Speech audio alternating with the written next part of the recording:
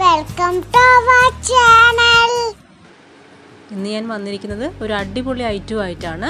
കാണുമ്പോൾ തന്നെ മനസ്സിലാവുന്നുണ്ടല്ലോ അല്ലേ എന്താ ഐറ്റം എന്നുള്ളത്? അതെ വാഴയിലയിൽ പൊള്ളിച്ചിട്ടുള്ള നല്ലൊരു കരിമീൻ റെസിപ്പി ആയിട്ടാണ് ഇന്ന് ഞാൻ വന്നിരിക്കുന്നത്. വളരെ ടേസ്റ്റാണ് ഇത് കഴിക്കാനായിട്ട്. അതുപോലെ പെട്ടെന്ന് തന്നെ നമുക്ക് ഉണ്ടാക്കിയെടുക്കാനും പറ്റും. അപ്പോൾ ഇനി ഒട്ടും സമയം കളയാതെ ഇതെങ്ങനെയാണ് ഉണ്ടാക്കുന്നത് എന്ന് കണ്ടുനോക്കാം നന്നായി കഴുകി വൃത്തിയാക്കി എടുത്തിട്ടുള്ള ഒരു മൂന്ന് കരിമീൻ ഞാനിവിടെ എടുത്തിട്ടുണ്ട്. അത് നമുക്കിതുപോലെ കത്തി വെച്ച് ചെറുതായിട്ടൊന്ന് വരച്ചു കൊടുക്കാം.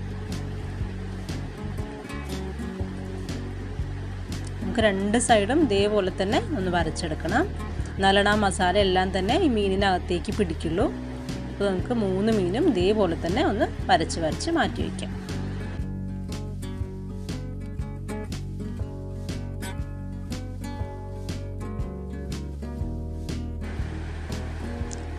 ഇനി നമുക്ക് ഇതിലേക്ക് തിരുമാനുള്ള മസാല തയ്യാറാക്കാം.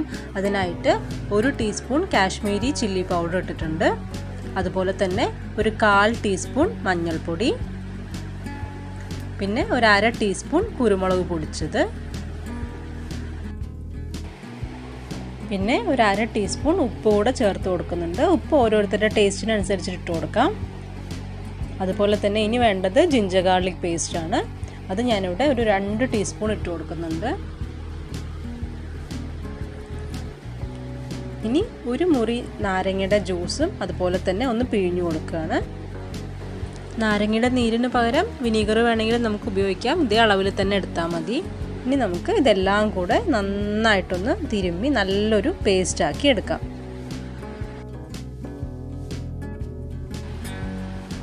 ഇനി നമുക്ക് ഈ പേസ്റ്റ് ഈ മീനിലേക്ക് നന്നായിട്ടങ്ങ് തേച്ച് പിടിപ്പിക്കാം.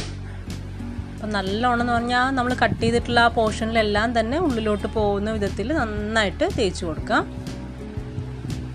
അതുപോലെ തന്നെ ആ മീനിന്റെ ഉൾവശത്തും ഇതേപോലെ തന്നെ നമുക്ക് മസാല ഇട്ട് കൊടുക്കുക അപ്പോഴാണ് ആ ഉൾവശത്തും അതേ ഒരു ടേസ്റ്റ് കിട്ടുള്ളൂ. അല്ലെങ്കിൽ പുറമേ മാത്രം മസാലയായി പോവും. ഇതുപോലെ തന്നെ എല്ലാ മീനിലും നമുക്ക് ഒന്ന് തേച്ച് പിടിപ്പിച്ചെടുക്കാം. അതിനുശേഷം നമുക്ക് ഈ മീൻ അരമണിക്കൂർ ഒന്ന് റെസ്റ്റ് ചെയ്യാനായിട്ട് വെക്കണം. മിനിമം അരമണിക്കൂറാണ് കൂടുതൽ നേരം വെക്കുകയാണെങ്കിൽ അത്രയും നല്ലത്. ഇതെല്ലാം കഴിഞ്ഞു. ഇനി അത് അരമണിക്കൂർ അവിടെ ഇരുന്നോട്ടെ. ഇനി നമുക്ക് ഈ മീൻ ഫ്രൈ ചെയ്യാൻ ആവശ്യമായിട്ടുള്ള എണ്ണ ഒന്ന് ചൂടാക്കി മൂന്ന് മീനും അതിലേക്കിട്ട് നന്നായിട്ട് ഗോൾഡൻ ബ്രൗൺ ആവുന്നത് വരെ ഒന്ന് ഫ്രൈ ചെയ്തെടുക്കണം.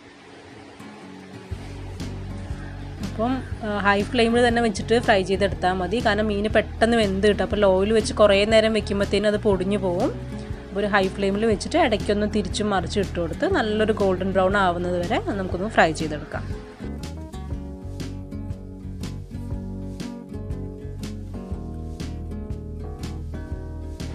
ഇതിപ്പോൾ നല്ലൊരു ഗോൾഡൻ ബ്രൗൺ തന്നെ ആയിട്ടുണ്ട്. ഇനി നമുക്ക് ഇത് പതുക്കെ എണ്ണയിൽ നിന്ന് ഒന്ന് കോരി മാറ്റി വയ്ക്കാം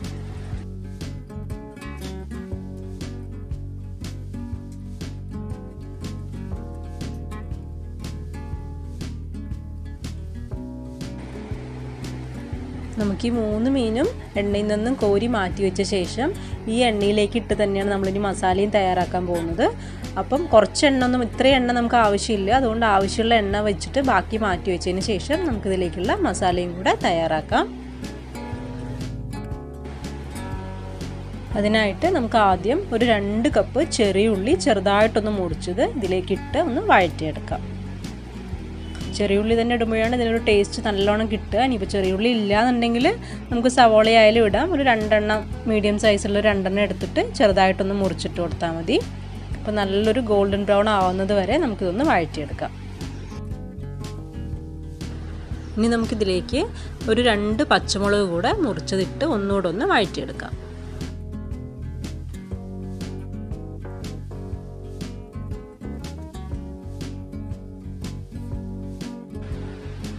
അതിനുശേഷം ഇനി നമുക്കിതിലേക്ക് ഒരു table spoon ginger garlic paste കൂടെ ഇട്ട് നന്നായിട്ടൊന്ന് വഴറ്റിയെടുക്കാം. ആ പച്ചമണം പോകുന്നത് വരെ തന്നെ നമുക്കൊന്ന് വഴറ്റിയെടുക്കണം. അതെ പച്ചമണം എല്ലാം തന്നെ നന്നായി പോയിട്ടുണ്ട്. ഇനി നമുക്കിതിലേക്ക് ഒരല്പം കറിവേപ്പിലയോടെ ഇട്ട് കൊടുക്കാം. ഇനി നമുക്ക് ഈ മസാലയ്ക്ക് ആവശ്യമായ പൊടികൾ ചേർത്ത് കൊടുക്കണം. അതിനായിട്ട് ആദ്യം ഒരു table spoon Kashmiri chilli powder ഇട്ട് കൊടുക്കുന്നുണ്ട്. അതുപോലെ തന്നെ അര ടീസ്പൂൺ മഞ്ഞൾപ്പൊടി അര ടീസ്പൂൺ കുരുമുളക് പൊടിച്ചത് പിന്നെ ഒരു അര ടീസ്പൂൺ പെരിഞ്ജീരകം പൊടിച്ചതാണ് ഇട്ട് കൊടുക്കുന്നത്. അതുപോലെ തന്നെ ഒരു ടീസ്പൂൺ ഫിഷ് മസാല കൂടെ ചേർത്ത് കൊടുക്കുന്നുണ്ട്. ഈ ഫിഷ് മസാലയിലുള്ളത് ജീരകം ഉലുവ മല്ലി അതുപോലെ ചുവന്ന മുളക് ഗ്രാമ്പു കറുവപ്പട്ട. ഇതെല്ലാം കൂടെ ചേർത്ത് പൊടിച്ചിട്ടുള്ളതാണ് ഈ മസാല. അതുപോലെ തന്നെ ഇനി നമുക്ക് ആവശ്യത്തിന് ഉപ്പും കൂടെ ചേർത്ത് കൊടുക്കാം. എന്നിട്ട് നന്നായിട്ടൊന്ന് ഇളക്കിയെടുക്കണം. ആ പൊടികളുടെ എല്ലാം തന്നെ പച്ചമണം പോകുന്നത് വരെ തന്നെ നമുക്ക് നന്നായിട്ടൊന്ന് ഇളക്കിയെടുക്കാം. പൊടികളുടെ എല്ലാം തന്നെ പച്ചമണം നന്നായി മാറിയ ശേഷം നമുക്കിതിലേക്ക് ഒരു തക്കാളി ചെറുതായി മുറിച്ചതുകൂടെ ഇട്ട് നന്നായിട്ടൊന്ന് ഇളക്കിയെടുക്കണം. അപ്പോൾ തക്കാളി നന്നായിട്ട് കുക്കാവുന്നത് വരെ തന്നെ നമുക്കത് ഇളക്കിയെടുക്കണം.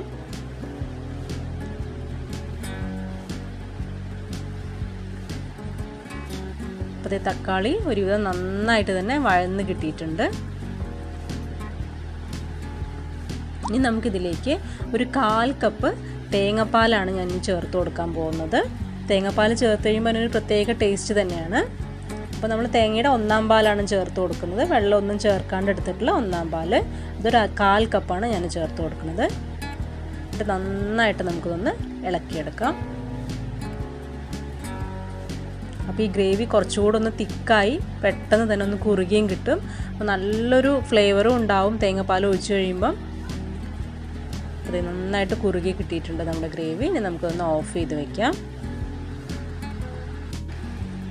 ഇനി നമുക്ക് ഒന്ന് വാട്ടിച്ചെടുത്ത ഒരു വാഴയിലേക്ക് ഈ മസാലയുടെ കൂട്ട് കുറച്ചൊന്നിട്ട് ഒന്ന് പരത്തിയെടുക്കാം. ഒരു രണ്ട് ടേബിൾ സ്പൂണൊക്കെ ഇട്ട് കൊടുത്താൽ മതി. എന്നിട്ട് നന്നായിട്ടൊന്ന് പരത്തിയെടുക്കാം. അതിനുശേഷം നമുക്ക് ഈ മസാലയുടെ മുകളിലേക്ക് ഫ്രൈ ചെയ്ത് വെച്ച മീനിട്ട് അതിന് മുകളിലും കൂടെ ഇതുപോലെ തന്നെ ഒരു രണ്ട് ടേബിൾ സ്പൂൺ മസാല ഇട്ട് ഒന്ന് പരത്തി കൊടുക്കാം. ഇനി നമുക്ക് ഈ വാഴല നന്നായിട്ടൊന്ന് പൊതിഞ്ഞെടുക്കണം. അപ്പോൾ നമ്മൾ വാഴല വാട്ടിച്ചെടുത്താൽ മാത്രമാണ് ഇതുപോലെ ഒന്ന് പൊതിഞ്ഞെടുക്കാനായിട്ട് കിട്ടുള്ളൂ അല്ലെങ്കിൽ ഇത് പൊട്ടിപ്പോവും. ഇനി നമുക്ക് വാഴയുടെ തന്നെ ഇതുപോലെ ഒരു കയറ് വെച്ചിട്ട് ഒന്ന് കെട്ടിക്കൊടുക്കാം. ഇനിയിപ്പോൾ വാഴനാര ഇല്ലയെന്നുണ്ടെങ്കിൽ നൂൽ വെച്ച് കെട്ടിക്കൊടുത്താലും മതി. നമുക്ക് ആ മീനും മസാലയും പുറത്ത് പോവാത്ത വിധത്തിൽ ടൈറ്റായിട്ട് തന്നെ കെട്ടിക്കൊടുക്കണം. ഇതേ നമ്മുടെ കരിമീൻ നിറച്ചിട്ടുള്ള പൊതി ഇവിടെ റെഡി ആയിട്ടുണ്ട്. നമുക്ക് ഇതേപോലെ തന്നെ മറ്റ് രണ്ട് മീനും ഇതേപോലെ ഒന്ന് പൊതിഞ്ഞെടുക്കാം.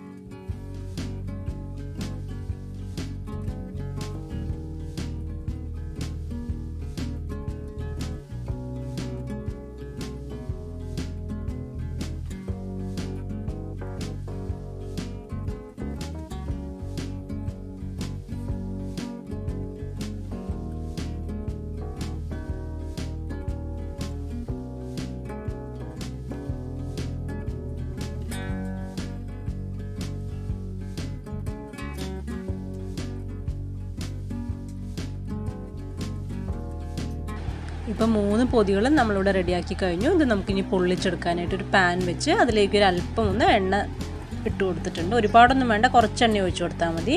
ഇനി നമുക്ക് ആ എണ്ണയിലേക്ക് ഈ മൂന്ന് പൊതികളും ഒന്ന് വെച്ച് കൊടുക്കാം.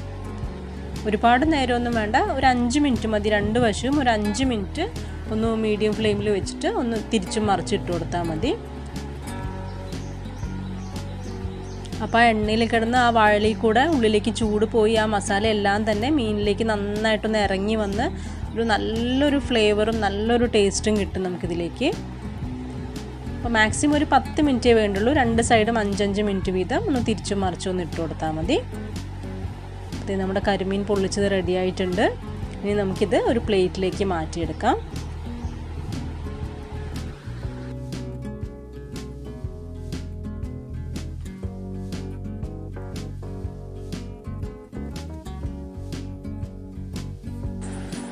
ഇനി നമുക്ക് ഇത് നല്ല ചൂടോടെ തന്നെ സെർവ് ചെയ്യാം. അപ്പോഴാണ് അതിന് നല്ലൊരു ടേസ്റ്റ് ഉണ്ടാവുക.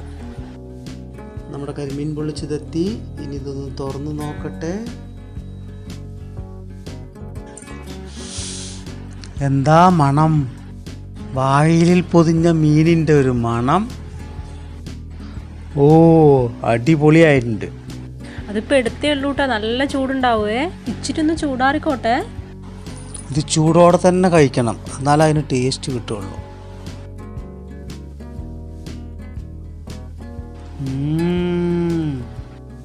അപ്പൊ അപ്പോൾ ഇത് നമ്മുടെ കരിമീൻ പൊള്ളിച്ചതിന്റെ ടേസ്റ്റ് കണ്ടല്ലോ. ഇനി എല്ലാവരും ഒന്ന് ഉണ്ടാക്കി നോക്കിക്കോണേ. എന്തായാലും ഇഷ്ടാവേ. വീഡിയോ ഇഷ്ടമായെങ്കിൽ സബ്സ്ക്രൈബ് ചെയ്യാൻ മറക്കല്ലേ. പുതിയ റെസിപ്പി ഇനി പിന്നെ വരാം. ബൈ